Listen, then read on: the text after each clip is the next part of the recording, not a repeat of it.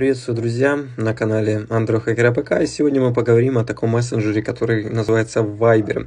Многие ним пользуются, так что поддержите лайком, подпишитесь, расскажите друзьям, а я вам покажу несколько полезных функций. Viber действительно очень обнаглел, и нам каждый день какие-то впаривает настройки. Значит, смотрите, если мы зайдем в Viber и попадем вот в свою учетную запись, к примеру, да, давайте сейчас выйду полностью вот сюда вот, здесь мы переписываемся, да, внизу будет пунктик, который называется называется «Еще». А, заходим в «Еще», и здесь э, нас интересует пункт, который называется «Настройки». Нажимаем на «Настройки» и ищем сразу пункт «Конфиденциальность». Вот он у нас. Так вот, в конфиденциальности есть очень много пунктов. Во-первых, если вы не хотите, чтобы другие пользователи видели, что вы в сети, отключите это просмотрено. Если отключить этот параметр, участники чата не смогут узнать, какие сообщения были просмотрены.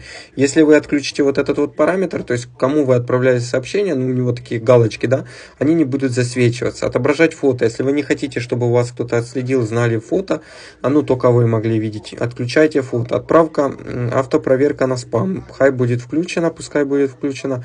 Использовать PIT to PIT. Технология P2P улучшает качество связи, но э, раскрывает собеседника ваш IP-адрес. То есть, когда вы общаетесь, собеседник любой может узнать ваш IP-адрес. Если вы не хотите, а IP-адрес это точное местоположение, то отключайте. Разрешить рекомендации всем советую отключить, чтобы не было дополнительной реакции, э, рекламы. Э, верифицировать контакты, включить, чтобы настроить дополнительные параметры безопасности. Пусть будет. Запросы на переписку включаем. И после этих настроек вы увидите, что у вас реально будет э, профиль намного безопаснее и лучше. Пользуйтесь. Больше видео вы найдете, конечно же, здесь.